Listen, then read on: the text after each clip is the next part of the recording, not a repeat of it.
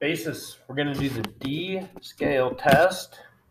Need you to be looking at the dots. We've got first dot, second dot, third dot, fourth dot.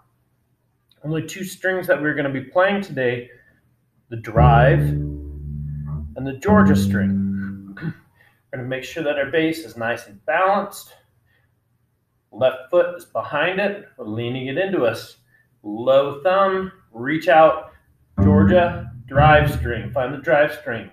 You're going to say and play open, no fingers, D, D, D. First finger, first dot, say and play E, E, E. Fourth finger on the second dot, F sharp, F sharp, F sharp. Go to open G, G, G, G. First finger, first dot, Go back in the music alphabet to A. A, A, A. Fourth finger, second dot, G string, B, B, B, B. We're going to shift with our thumb. We're not going to stretch. We're not going to compress. Shift with our thumb. Our first finger is going to end up on the third dot. But we're going to press our second finger down in between the third dot and the fourth part dot. C sharp, C sharp, C sharp. Press your fourth finger down.